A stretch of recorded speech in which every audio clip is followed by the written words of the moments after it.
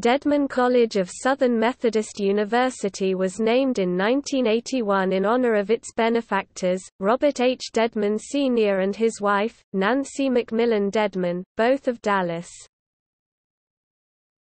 Topic areas of study Bachelor's, master's, and doctoral degrees are offered through 16 departments in the humanities, social sciences, and the mathematical and natural sciences.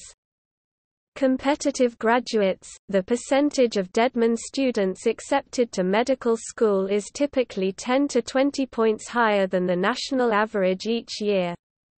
Publications – Faculty members publish with such university presses as Oxford, Cambridge, Harvard, and Yale. Many of their publications can be seen at the Barnes & Noble SMU bookstore, which has a section devoted to faculty authors.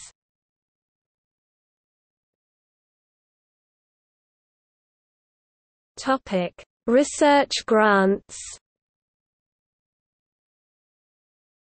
In 2004, Dedman College researchers generated $7,752,800 of SMU's $19.6 million in competitive research grants, an amount that has increased 52% since 1994.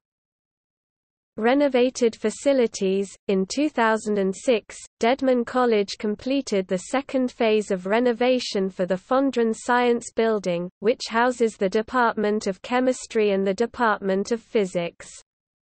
During the prior five years, more than $28 million supported construction and renovation projects for science facilities within the college.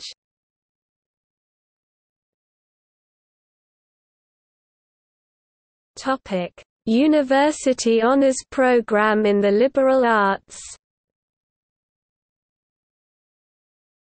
In 1966, Dr. Franklin G. Balch, a political science professor at SMU, founded the Superior Studies Program, consisting of 40 students.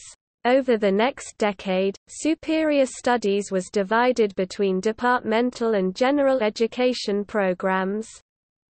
Thus, the University Honors Program developed, growing in 2006 to a group of more than 850 students who complete a required minimum of seven courses in the humanities. The UHP as it is commonly called focuses on an interaction-based pedagogy. The program notably features smaller classes, highly acclaimed professors, guest lecturers on controversial topics, and free special events for its participants.